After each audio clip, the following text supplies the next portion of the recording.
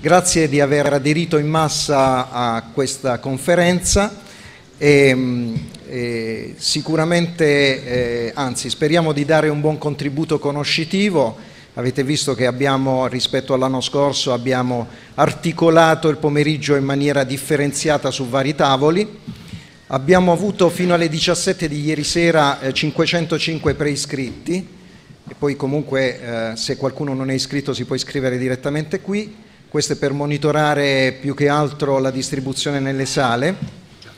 Abbiamo sempre alle 17 ieri sera 30, 30 iscritti allo streaming, ma sicuramente come abbiamo verificato l'anno scorso ci sono moltissimi iscritti che lo fanno direttamente la mattina della conferenza, non stiamo monitorando queste iscrizioni. Comunque sono eh, elementi significativi eh, come numeri. E, mh, allo streaming non c'è una chat, quindi chiunque voglia fare dalla dal web eh, commenti o domande ai relatori può farlo usando eh, l'hashtag OpenGeodata su Twitter. C'è la nostra persona in regia, Maurizio Ambrosanio, che segue Twitter, per cui io gli chiederò se ci sono domande dal web, se ci sono domande dal pubblico di, alzate la manina, che vi vedo e, e quindi possiamo interagire anche in questo modo. E, ehm, ecco il profilo delle persone che, sono, che hanno aderito con le preiscrizioni, eh, c'è anche un confronto col 2013, quindi abbiamo eh, il 50% presenti di iscritti sono eh, appartenenti a enti pubblici, l'anno scorso con un 14 punti di percentuale in più rispetto all'anno scorso, eh, anche in aumento le aziende private, il 32 rispetto al 29 dell'anno scorso, università e ricerca in, eh, in discesa dal, dal, 15 al 10% quest'anno e anche privati professionisti dal 18 al 12. L'ultima riga sono le associazioni, ma in realtà nessuno si registra o pochi si registrano come associazioni perché ovviamente fanno parte anche di aziende o enti pubblici, quindi eh, danno come priorità nella registrazione l'appartenenza a un ente o un, a un'azienda. Prima di tutto ringrazio tutto lo staff che ci ha permesso di, di fare questa conferenza. Paolo Silvagni, il segretario, che ha dato una grande mano all'organizzazione, e poi i soci fondatori che sono tutti qui operativi, Michele Aurelio per gli aspetti informatici, per le foto, Angelo Di Clemente, Elena Spagnoletti che purtroppo ci seguono dalla reception perché avevo bisogno di un coordinamento in reception, Cristina, Valentina e Gabriella che sono sempre il nostro appoggio, sono tutti volontari eh, come lo siamo tutti in associazione. Ringrazio tutti i soci, soprattutto perché grazie a loro riusciamo a fare queste cose e non solo, perché c'è un'attività eh, associativa impegnativa in cui si chiede il confronto con i soci su vari temi e quindi questo è un aspetto importante, non, non solo i soci contribuiscono anche economicamente al sostentamento dell'associazione.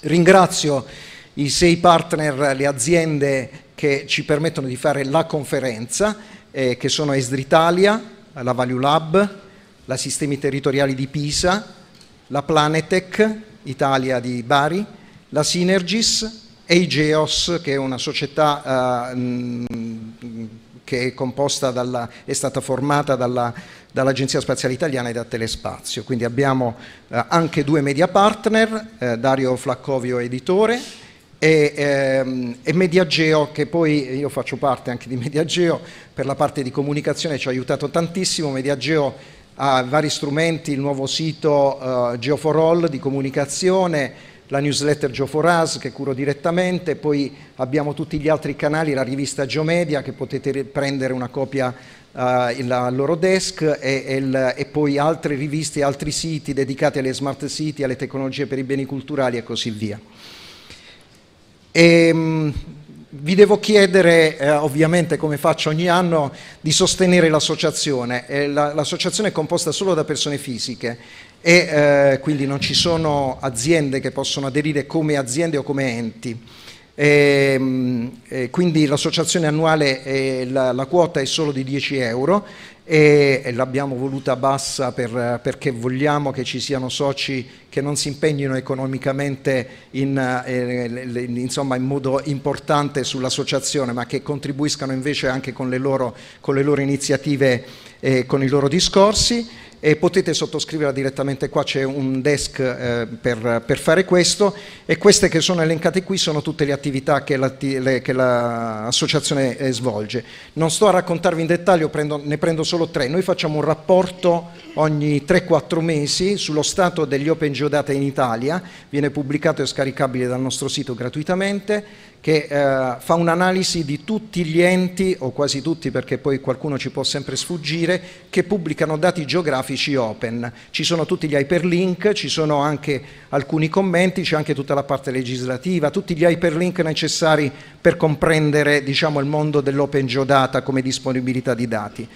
E poi mh, ell'ebook un annuale, il, quello dell'anno scorso che è stato realizzato l'anno scorso, introduzione eh, all'open data è stato scaricato solo dal nostro sito 4.000, eh, ci sono stati 4.000 download, però eh, avendo una licenza open Creative Commons by è anche presente su, altre, su, altri siti, quindi non sappiamo esattamente quante volte sia stato scaricato effettivamente. Noi facciamo anche sollecite comunicazioni agli enti, l'ultimo che abbiamo fatto e che è stato concordato con tutti i soci è l'elenco degli stati, che, degli, dei layer che prioritariamente, dei dataset che devono essere resi disponibili ed è stato comunicato ufficialmente sia all'Agenzia per l'Italia Digitale sia alla funzione pubblica che cura eh, la carta open data del G8. Quindi abbiamo comunicato a entrambi quali sono i dati, ecco, abbiamo fatto il lavoro diciamo, di, eh, di, della base, la richiesta della base. Poi ci sono tante altre cose che facciamo, le, le, ve le lascio eh, leggere come le news, abbiamo un gruppo Facebook dedicato, eh, abbiamo tante altre operazioni che, che facciamo come associazione. Altre informazioni per oggi tecniche, diciamo, il segnale di telefonia qui nella sala è uguale a zero, ve ne sarete accorti. Quindi chi eh, soffre di crisi di astinenza da telefonini può salire al livello di sopra, al primo livello, al, al livello stradale, e lì il segnale c'è. Eh, c'è anche un cortile dietro questa porta dove qualcosa si riesce a prendere. Però abbiamo il wifi e il, la, l'accesso è attraverso la, la, questa, queste credenziali Frentani 2012, scritto come lo vedete eh, in, nella slide. L'anno scorso abbiamo offerto noi il buffet ma avevamo prenotato solo l'auditorium, quest'anno abbiamo scelto di investire i soldi del buffet nelle sale nel eh, prenotare l'intero centro congressi perché abbiamo quattro sessioni in parallelo nel pomeriggio. Quindi per il pranzo abbiamo concordato con il centro congressi un voucher di 7 euro che può essere acquistato in reception e vi, qui accanto al bar c'è una grande sala con tavoli e sedie e c'è una, una, tavola calda per cui è possibile con 7 euro insomma, eh, prendere un primo o un secondo in contorno all'acqua. Per gli attestati di partecipazione alla conferenza, gli attestati di partecipazione al corso saranno disponibili al, dopo le 17 al desk che è a livello stradale vicino all'ingresso e mh, vi prego di andare in reception per chiedere eh, esplicitamente l'attestato così lo, lo, preparano.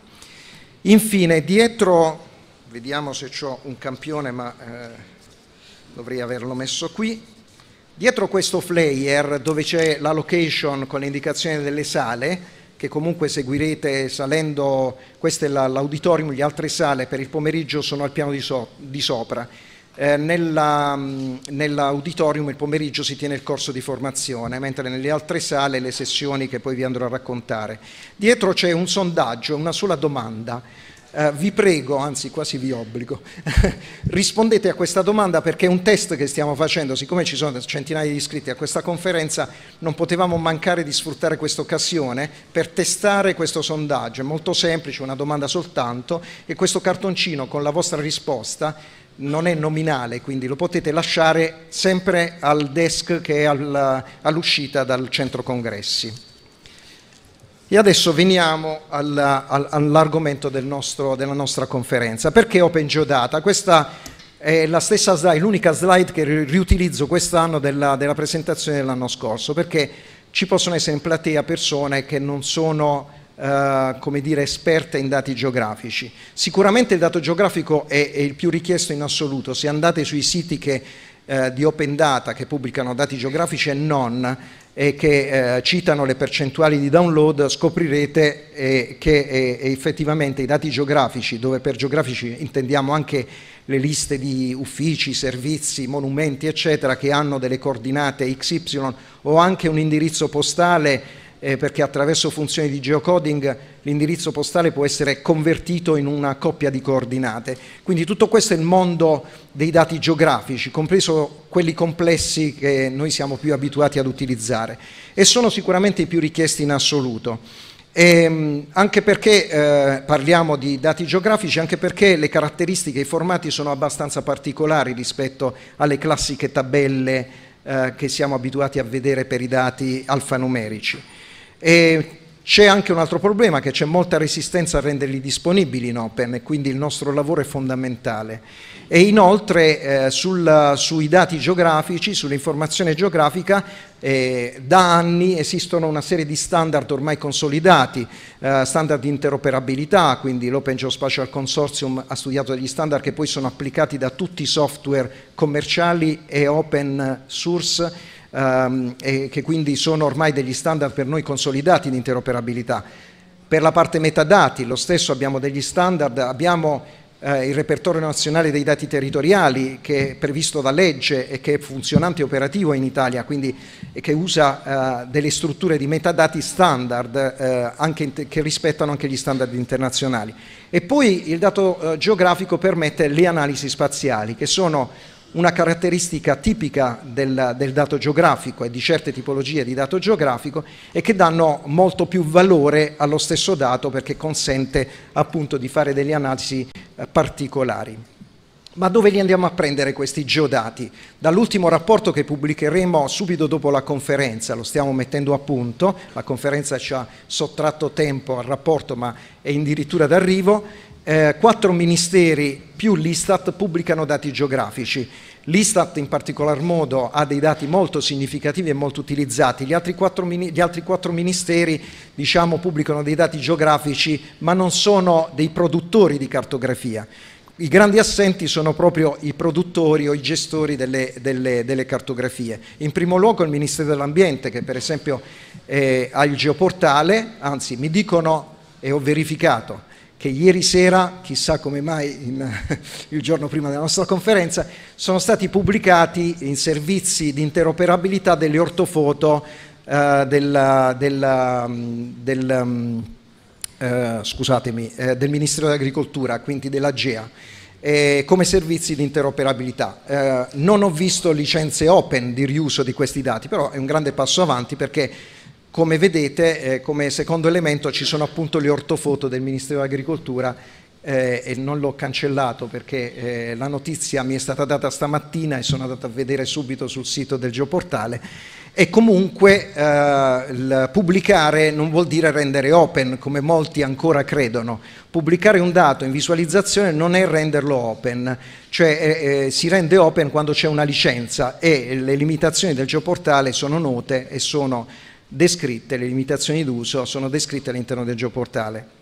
E poi abbiamo ancora l'IGM, l'Istituto Geografico Militare, che ha grigliati, la toponomastica, il DTM, i famosi grigliati per le conversioni fra i sistemi di coordinate, che non sono open, anzi sono a pagamento, e ancora l'Agenzia delle Entrate con il catasto. E catasto purtroppo due o tre anni fa hanno ripristinato il balzello della visura catastale, purtroppo per noi, e recentemente mi è stato comunicato da alcuni enti che è arrivata una lettera dall'Agenzia delle Entrate, voi sapete che sono stati, molti di voi lo sanno, sono stati investiti decine di milioni di euro in progetti per, rendere, per pubblicare e rendere disponibili al cittadino i dati del catasto, uno degli esempi è il progetto Sigmater che è costato più di 24 milioni di euro e, e gli enti che hanno pubblicato questi dati hanno ricevuto una comunicazione eh, dell'Agenzia delle Entrate, eh, dell'Agenzia scusate, del, sì, dico bene, dell'Agenzia delle Entrate adesso, sì, è tutt'uno, e, e che comunicava che non possono rendere pubblici al cittadino quei dati perché sono dei dati a pagamento. Queste, mh, io ho una copia delle, di una lettera che è stata mandata a uno degli enti locali. Poi abbiamo 11 eh, su 21 regioni e province autonome che hanno reso dei dati open, non tutti nello stesso modo, quindi secondo le tipologie di dati. I passaggi all'open di altre regioni sarebbe immediato. Pensate alla regione Puglia, per esempio, che eh, tra l'altro ha fatto una legge sull'open data e eh, che purtroppo ha un geoportale ricchissimo, quindi già caratterizzato da servizi sia di interoperabilità che di download dei dati, ma non c'è una licenza dichiarata. Quindi la legge, la 221, dice che se non è dichiarata una licenza d'uso si intende open il dataset pubblicato. Però è anche vero che noi non sappiamo dove si può nascondere una formula all'interno di un sito internet come lo era prima sul sito del, del, del, della Regione Puglia, nelle FAC c'era, adesso è stata tolta, una nota che, diceva, che limitava l'uso dei dati. L'uso intendo l'uso aperto, il vero uso aperto, quello che è descritto in una licenza d'uso come la Creative Commons By o la IODL 2. Ecco, eh, questo è un elemento importante perché ci sono delle regioni che sono a un passetto, basta un passetto per diventare open, basta pubblicare la licenza associata a servizi di download e di interoperabilità che già sono pubblicati. 11 province eh, sul, sul, totale, quindi un 10% pubblicano dati open. Qui però le province sapete che siamo in una situazione particolare, quindi è difficile che prendano iniziative in questo momento. Mentre un elemento significativo sono 14 capoluoghi di provincia, solo 14 capoluoghi di provincia pubblicano dati open, la metà pubblica dati di base, come le cartografie di base, quindi come vedete un numero molto esiguo di città italiane. E eh, stiamo parlando ormai da anni di smart city, secondo me smart city si può definire una città che prima di tutto rende i propri dati open e che poi sia anche trasparente, che è molto vicino al concetto di open. Molto vicino non è la stessa cosa assolutamente, apriamo una discussione che non finisce mai, però sono due aspetti molto importanti. Ci sono anche delle aziende private che pubblicano dati open e questo è un fatto importante, sta uh, nascendo, nascendo questa, questa, prospettiva che abbiamo, una vera e propria prospettiva, uh, non cito le aziende, una di queste lo presenterà in plenaria, presenterà appunto uh, l'apertura di, di, dati appunto se si esauriscono i, i, i posti in sala, c'è anche la galleria sopra, ecco, se eh, potete usufruire ci sono anche 300 posti su in galleria. Eh. Scusate l'informazione di servizio.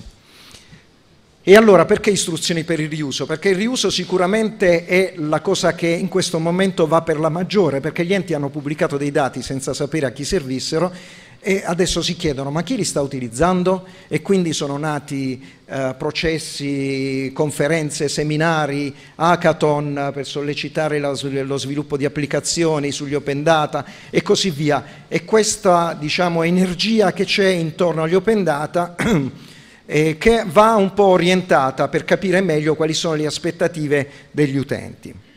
Sicuramente l'open data nasce come spinta all'economia italiana, ma non è solo questo che dobbiamo valutare, dobbiamo valutare anche altri tipi di benefici, anche intangibili. Oddio, gli economisti riescono a, a monetizzare qualsiasi tipo di beneficio, anche quello intangibile. Ho visto delle, delle elaborazioni su analisi costi-benefici incredibili per noi, ma riescono a, rendere, a monetizzare anche questo. E quindi andiamo verso quello che io chiamo l'open data 2.0 analisi della domanda, qualcuno si deve pur porre che cosa serve, il riuso e soprattutto il feedback. E tutto questo porta, eh, e questo è un pensiero che allargo a tutti voi, ma eh, diciamo all'open data consapevole, quindi che ho eh, declinato in quattro voci. Utilità, quindi prima di pubblicare un dataset ci dovremmo chiedere a chi può essere utile, quindi incrociare quelli che sono i nostri dataset che possiamo rendere pubblici eh, e open con i potenziali utilizzatori. Seconda chiave, l'efficacia. Modelli, formati, metadati, standard utilizzati. Immaginate, noi oggi parleremo di stradari. Io ho analizzato eh, gli stradari di 13 città italiane, non ce n'è uno uguale all'altro, per cui se qualcuno deve sviluppare un'applicazione che utilizza lo stradario eh, lo svilupperà per il comune di Milano e poi non gli andrà bene per il comune di Parma. e non gli andrà bene per il comune di Roma e così via. Sono 13 stradali, uno diverso dall'altro. E quindi l'efficacia è data anche da questo, da rendere disponibili i dati in interoperabilità, di studiare le applicazioni più idonee. La terza chiave di lettura è i benefici economici e intangibili. Quindi anche questa è un'analisi che va fatta. Che livello di beneficio porta pubblicare un dataset rispetto a un altro? E poi un'altra voce essenziale, un'altra tag importante, rischi e criticità. Rischi legali di privacy, ne parlerà poi la dottoressa che è il primo relatore della, della, uh, della plenaria, e anche le criticità, perché pubblicare un dataset vuol dire anche mantenerlo aggiornato. Con, è chiaro che se io pubblico un dataset sulle scuole, e sui plessi scolastici ogni anno ci sarà qualche aggiornamento, me lo immagino perché noi lo viviamo direttamente. Scuole che chiudono, vengono accorpate, plessi che vengono passati ad altre scuole e così via. Quindi bisogna assicurare, una delle criticità è sicuramente l'aggiornamento dei dati, la ripubblicazione dei dati stessi, che ovviamente con strumenti tipo linked data di interoperabilità, questo problema non sussiste di meno, nel senso che il dato, se viene effettivamente aggiornato, è reso disponibile direttamente a tutti attraverso i servizi di interoperabilità, senza necessari necessariamente downloadare. E allora, eh, chiudo la mia relazione con la presentazione dell'agenda. Eh, la mattina abbiamo questa sessione plenaria, alla fine della plenaria consegneremo i riconoscimenti come abbiamo fatto l'anno scorso a tre eh, entità, non dico ancora cosa, chi sono, se sono enti, aziende e così via, che si sono dimostrate virtuose nella pubblicazione e nel riuso dei dati. È stato molto impegnativo quest'anno rispetto all'anno scorso, la selezione. Eh, nel pomeriggio ci sono quattro eventi in parallelo, e quindi in questa sala si terrà il corso Pubblicare gli open data e predisporli per il riuso, costruito su tre moduli e realizzato in collaborazione col Form SPA. È il primo modulo dedicato appunto ai concetti generali di open data e, e, e il secondo c'è una case history molto interessante che è il Comune di Firenze e, e poi il terzo è dedicato alle tecnologie che, si, eh, che sono a disposizione sul mercato sia open source che commerciali per la pubblicazione e il riuso dei dati.